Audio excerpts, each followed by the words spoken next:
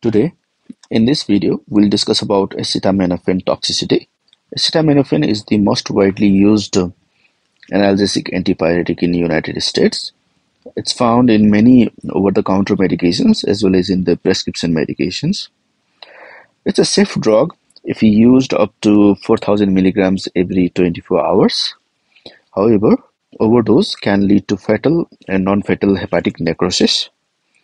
Even the repeated therapeutic or slightly excessive doses uh, can be hepatotoxic in susceptible individuals like uh, those patients with a history of alcohol intake or any other chronic liver diseases. So now talking about the epidemiology, it is one of the most commonly reported uh, products causing DILI and it is the second most common cause of liver transplantation worldwide and it is most common cause of liver transplantation in the United States. It's responsible for about 56,000 emergency department visits, 2,600 hospitalizations, and 500 deaths per year in the United States. And uh, almost 50% of the poisoning are because of the unintentional overdoses. Acetaminophen causes dose-related centrilobular hepatic necrosis, as shown in this picture. 8 gram per day, twice the daily recommended maximum dose over several days, uh, can lead to the liver failure. And if a patient takes more than 25 grams, then that can cause the fulminant disease. So toxicity is very unlikely if the patient has uh, consumed from 7.5 to 10 grams. Uh, it's likely if the dose is above 12 grams. And virtually all the patients who ingest more than 350 milligrams per kg, they develop uh, severe liver toxicity unless appropriately treated and the peak serum concentrations are usually reached within the 4 hours of ingestion and elimination half-life it ranges from 2 to 4 hours. Acetaminophen is uh, metabolized by the hepatic microsomes. So normally uh, if patient if patient is taking paracetamol or acetaminophen in the therapeutic doses 90% of the acetaminophen is metabolized in the liver uh, to the sulfate conjugates or the glucuronide conjugates which are excreted in the urine. Half of the remaining acetaminophen is then excreted unchanged in the urine, and half is uh, metabolized by hepatic cytochrome P450 enzymes into the toxic compound NAPQI. And this compound, uh, in a normal condition, is uh, conjugated immediately with the glutathione.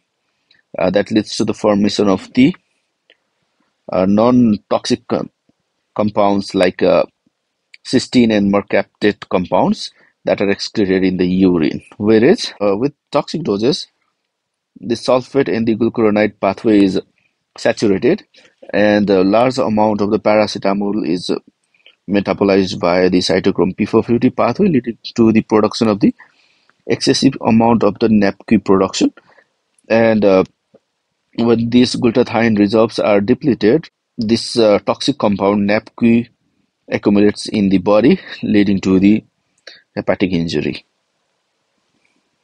So there are certain factors that uh, potentiate the hepatic injury, and some of them include the excessive intake of the PCM. This is the most important.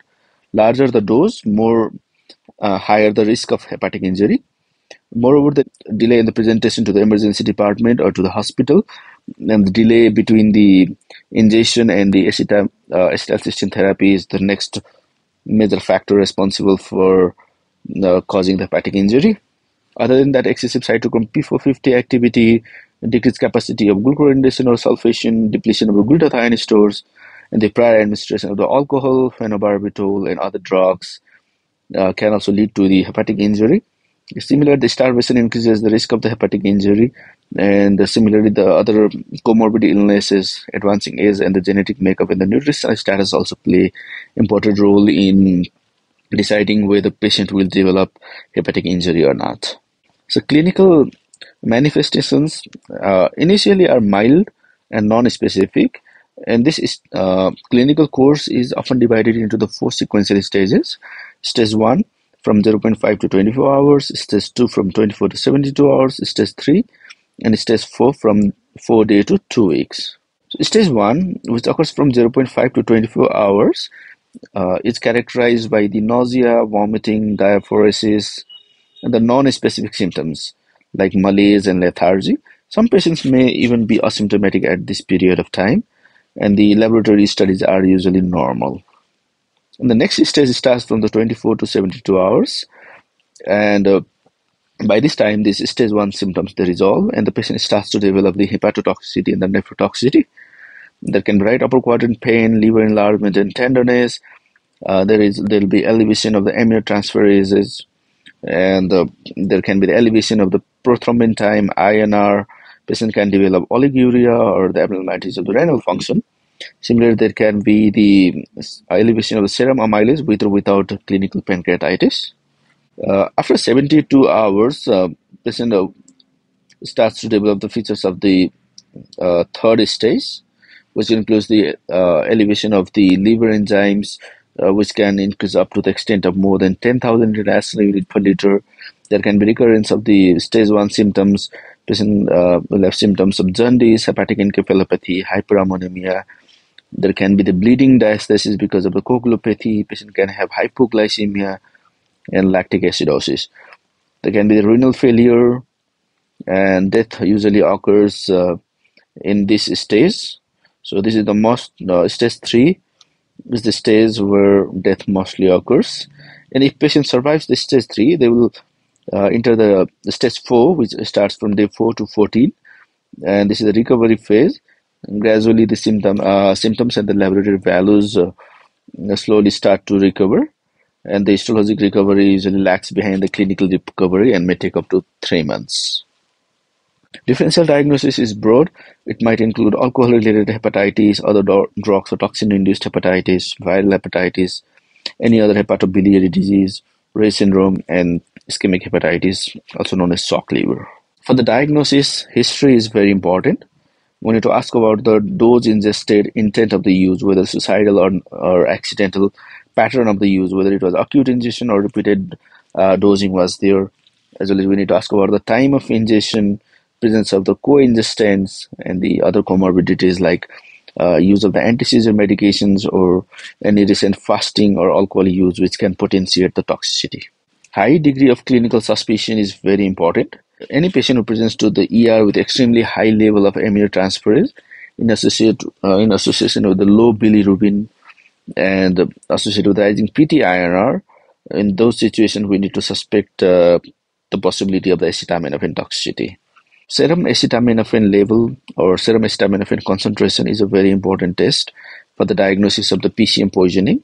So it's a basis for diagnosing uh, PCM acetaminophen poisoning, and it is also basis for determining the need for the treatment. So it's measured in every suspected patient, and usually it should be done four hours uh, following the time of acute injection. And if patient presents beyond four hours window, it should be done immediately at the time of the presentation. And the concentration is evaluated according to the uh, Matthew nomogram or the revised uh, Rumack-Matthew nomogram to determine the need of the acetylcysteine therapy. Uh, uh, other than acetaminophen concentration, uh, we can do other blood investigations and other investigations, including BUN, creatinine, bilirubin, PT-INR, liver transaminases level, amylase, urinalysis, uh, ABG to look for the pH, lactate, uh, which is very important to prognosticate the patient, similarly serum phosphate level, and the toxic screening to rule out other ingested drugs so now let's discuss about the risk assessment. And the risk assessment is usually done using the uh, revised Rumack-Matthew nomogram. So this uh, nomogram helps to derive the chances of possible, probable, and the high-risk hepatotoxicity.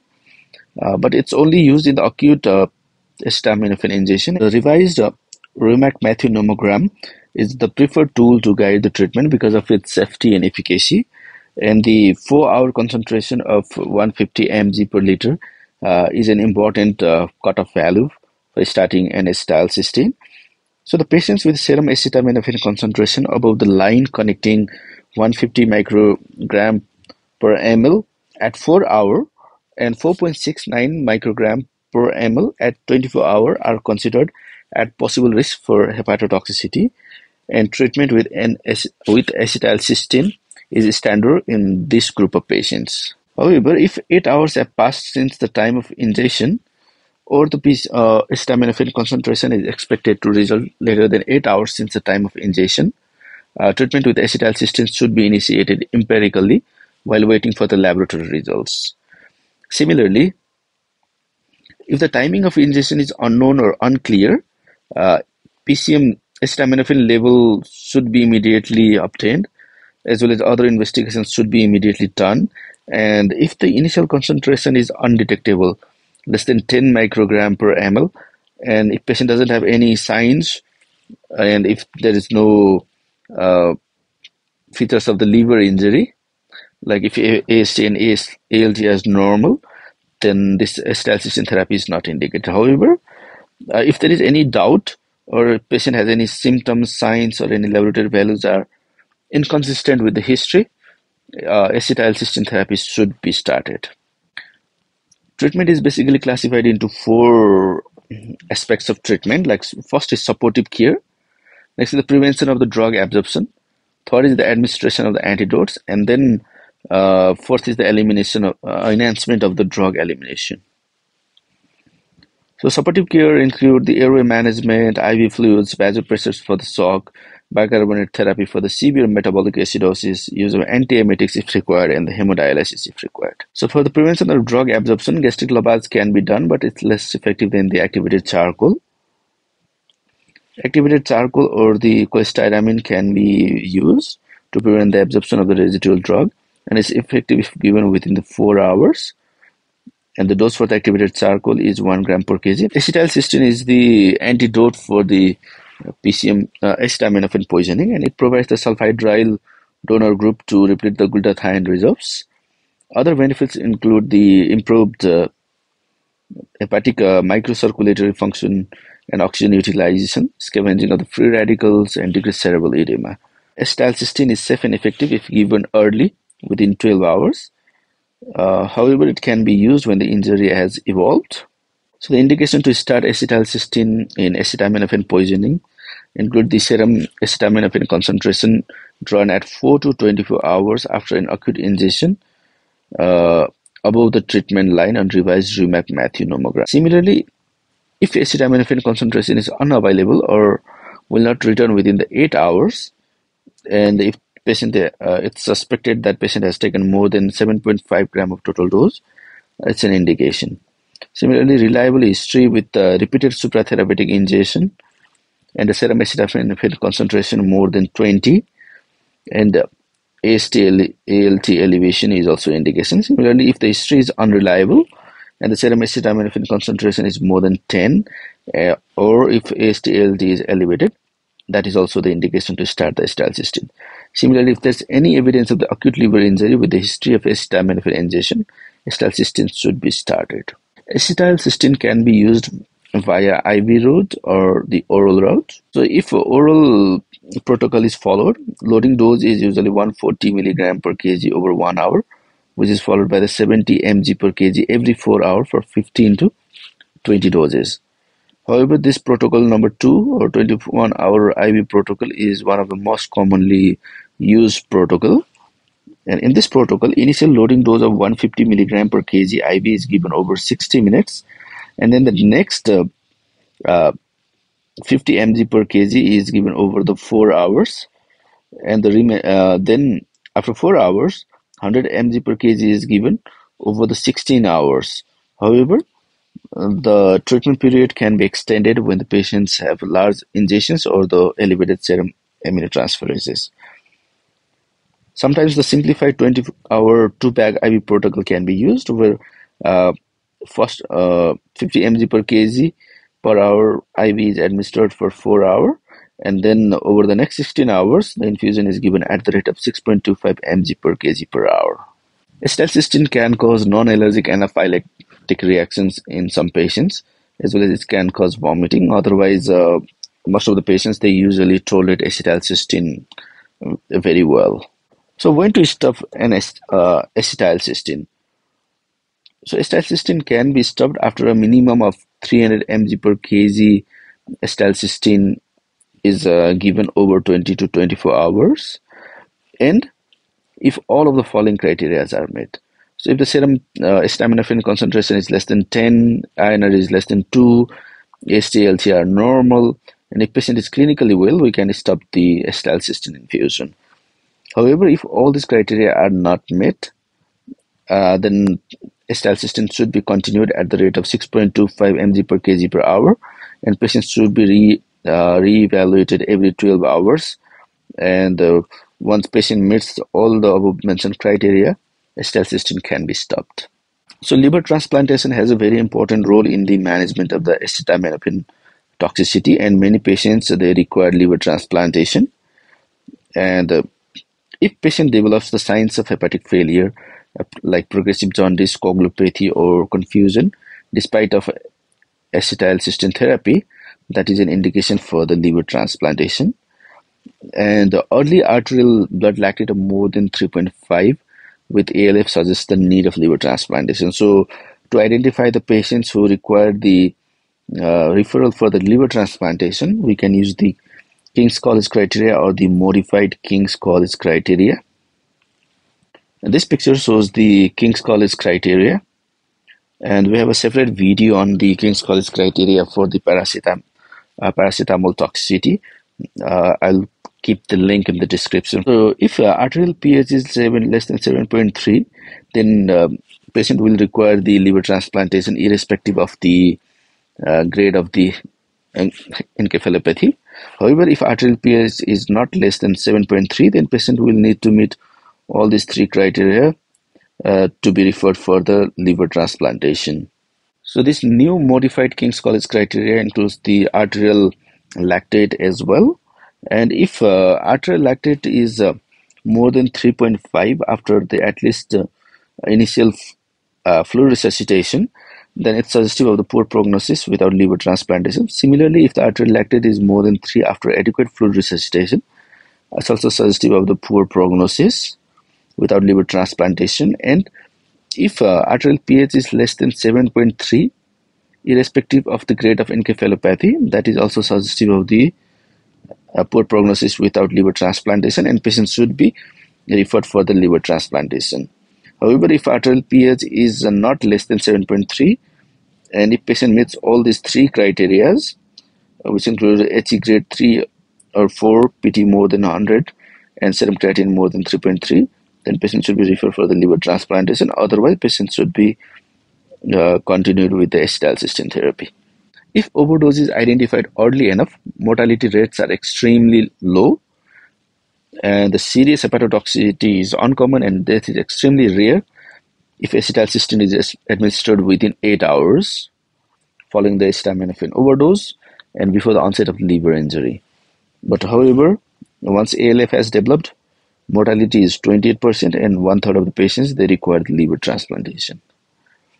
So thank you so much for watching. Please subscribe to our channel for more videos.